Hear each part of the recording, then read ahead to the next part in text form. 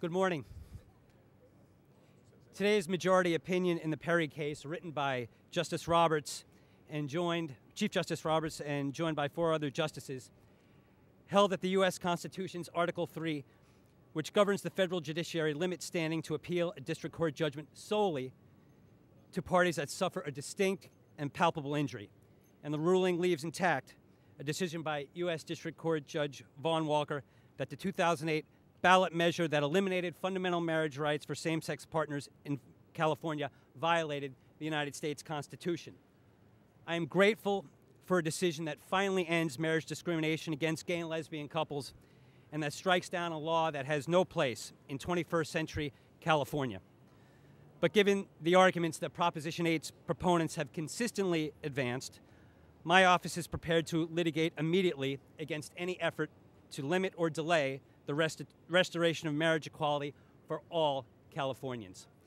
Today's ruling is another brick in the cause of equality that we've been fighting for here in San Francisco over the course of the last nine years.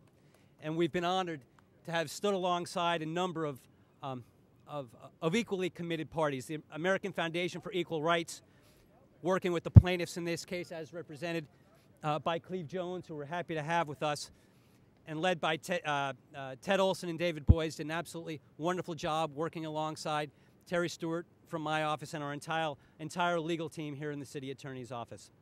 It's been a long battle. The marriage equality movement started in Massachusetts, but took off here with the Summer of Love in 2004 when Gavin Newsom instructed our clerk to issue uh, uh, marriage licenses to same sex couples. It's been a long struggle both in the state courts and the federal courts. We are glad that once again we will have marriage equality here in the state of California. So, with that, I'm happy to take any questions that any members of the media have. Thanks very much.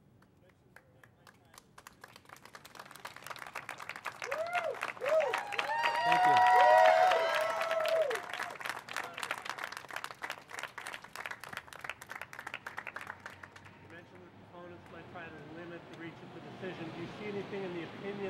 Any indication of what the Supreme Court thinks uh, we actually did a very, very quick search of the opinion, and there was nothing that indicated uh, that the, uh, they would limit the scope of the, of the injunction. And I would just say that if you go back and look at the district uh, court's opinion, Judge Walker was uh, very clear when he talked about the scope of the injunction.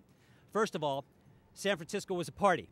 So we're bound by the scope of that injunction. And he was also very clear to say that uh, all county officials, recorders, and clerks operating under uh, the authority of state law for purposes of marriage laws or under the state registrar were bound by the terms of the injunction.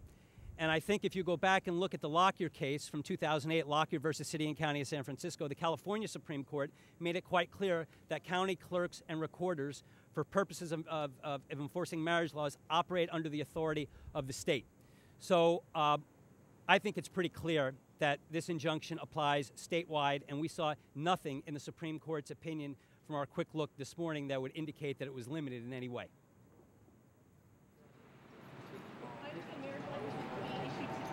They will not. They will not. Under uh, uh, Supreme Court rules, they will have about 25 days to file a petition uh, for rehearing. Then it'll take a couple of days after that to, uh, for the Ninth Circuit to issue uh, its mandate. So we would anticipate that it'd probably be about a month or so before uh, licenses could be issued. Any other questions? It's a tremendous victory. Uh, we've been fighting this battle for nine years, and uh, we argued in this case early on that the uh, proponents had no standing. Uh, and this restores marriage equality here to California. We will now join uh, 12 other states in the District of Columbia. It's a movement, and the Supreme Court made clear today that uh, we'll, we'll have marriage equality restored in California, and that is great for thousands and thousands of California families who just want to exercise their fundamental right to marry. So we're incredibly gratified by the ruling today, and we look forward to seeing marriages occur here in California very, very shortly.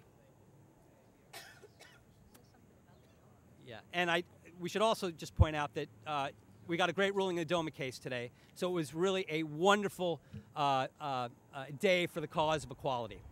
marriage equality. So uh, we look forward to celebrating today and uh, looking forward to making sure that marriages are restored here in California fairly quickly and that we continue this battle. We continue this battle nationwide because we have made tremendous progress over the course of the, the last several years and in large measure that political debate, that education, that changing of the hearts and minds of people is due to the litigation that was fought by the American Foundation of Equal Rights and our office and all the other litigants. So we're very, very gratified with the ruling today. Thanks very much.